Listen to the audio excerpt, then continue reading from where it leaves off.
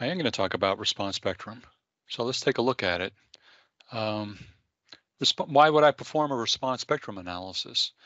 I want to perform a fast analysis for one, and I want to learn what the maximum results would be as uh, as a result of some sort of shock, earthquake, or other dynamic load. The kinds of results I can obtain are deflections, velocities, accelerations, forces, stresses, and strains.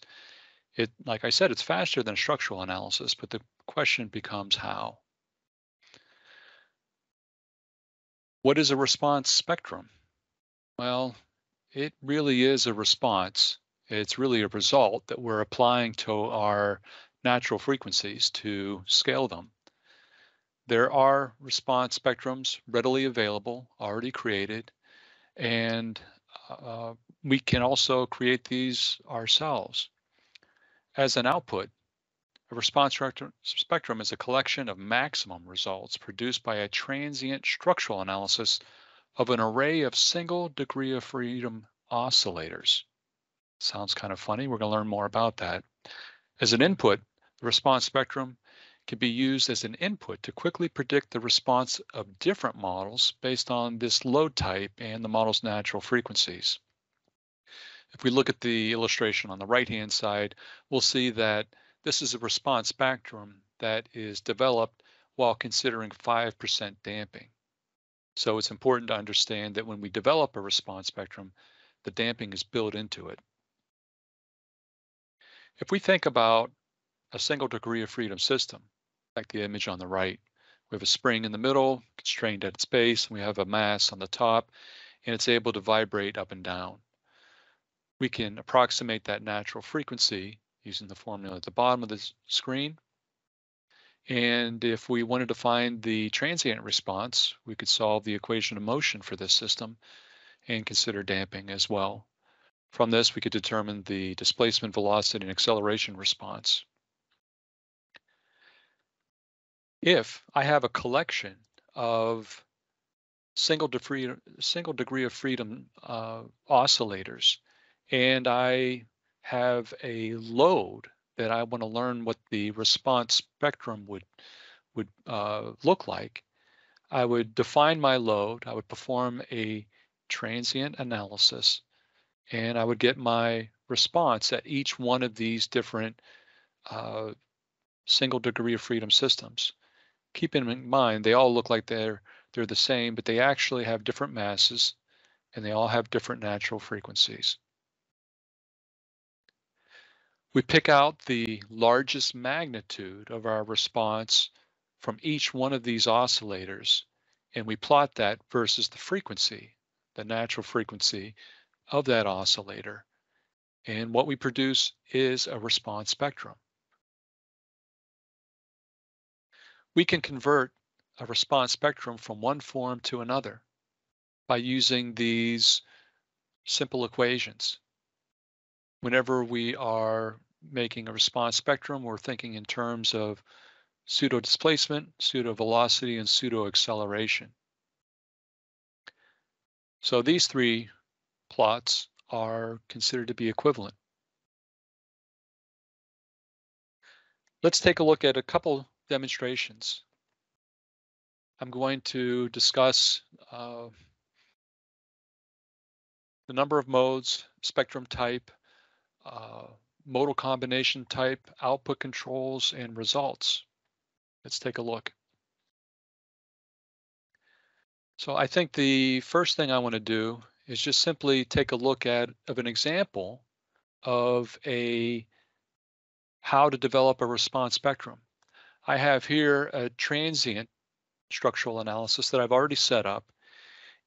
Each of these springs that looks like a, a stick there, but it's a spring, uh, is the same, but the masses are different on the top of each one such that each of these produce a different natural frequency. We can see what those are on the right here, a range of values. We define a an acceleration impulse. In my case, I'm interested in an acceleration impulse. Maybe you're interested in an earthquake loading.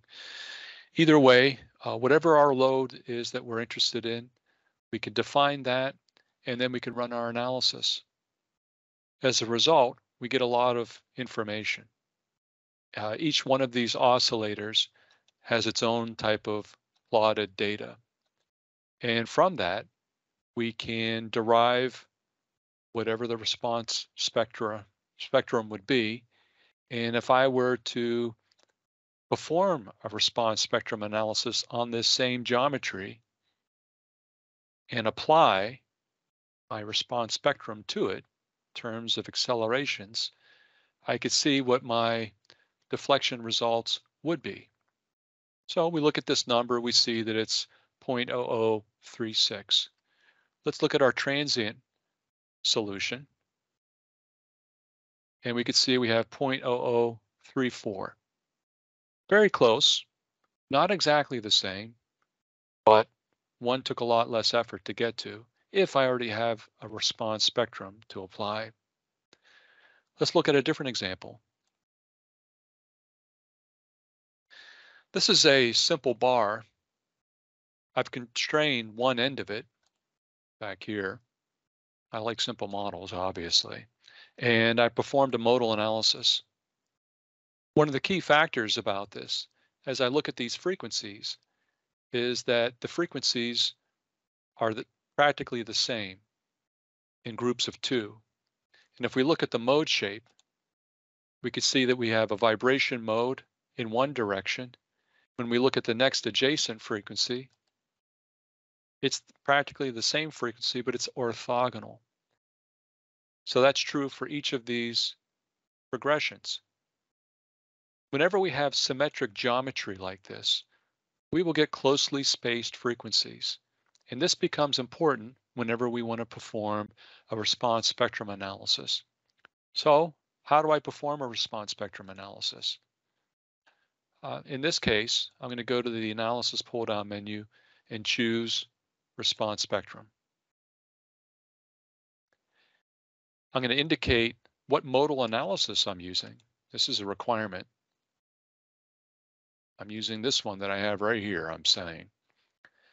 I'm going to visit the analysis settings. I see that by default, I'm using uh, all of the modes. The spectrum type is a single point. It could also be multiple points. The mode combination type is SRSS. I have three different choices here. Besides that, I have complete quadratic combination and the Rosenblueth uh, method. We're going to touch on those a little bit more. I'm going to calculate velocity and acceleration because I want those results available. I need more information. That's the reason why I have the question mark. So I'm going to right click and insert. And I have three choices as far as the types of response spectrum that I can accept. I'm going to choose an acceleration type. And I'm just going to paste what I've already had here. This is the response spectrum that I calculated earlier. I'm going to define what supports it acts on, indicate what direction. I'll say it acts in the y direction. And it's not scaled other than its original value. I'm going to run the analysis. The analysis proceeds quickly. Two reasons. Well, my model's really simple. The other reason is it's a response spectrum analysis and it's meant to be faster. Let's see what kinds of results that we can get. Let's look at a deformation. Let's evaluate this. And let's take a look at what we see here. We're not going to see a deflected shape, but we'll see where the ma maximum deflections would be. Let's insert a stress. We'll look at an equivalent stress and we'll evaluate this. One of the things that we'll notice, and this may be visible uh, easily here, but when we look at the y direction, we see that the stress is kind of off to the side. When we go back to our modal analysis results, and if we were to look at this, right down the z-axis and animate this, we'll see that the mode shape is a little bit off to the side. Well, since I'm applying my load in the Y, I would expect that to be right at the top. So what can I do to make this better? Let me duplicate my analysis and I'm going to make one change. Well, I'm going to wait first. I'm going to visit the analysis settings and I'm going to change the combination type to ROSE. Now, we're going to see what this does here. While it analyzes, I'm just going to simply say that the ROSE method handles closely spaced frequencies better. So now, when we look at these stresses, they're right at the top, and it's a higher magnitude as well. Let's go back to our presentation and, and review what we've covered. So the input, we need to have modal analysis results. Uh, we're not going to be able to incorporate any modal damping uh, if we're if our intention uh, is to perform the response spectrum analysis. The response spectrum is applied through the supports, and we can define it either as displacement versus frequency, eh, velocity versus frequency, or acceleration versus frequency.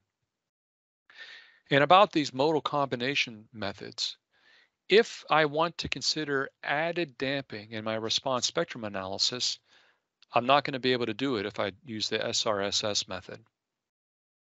So if I did apply any type of other damping, uh, let's say material damping, it will simply be ignored.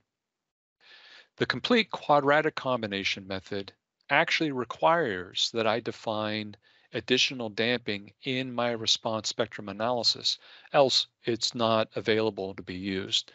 It's another method that's good for closely spaced frequencies like the model that we just looked at. I use the Rosenblueth's double sum combination method.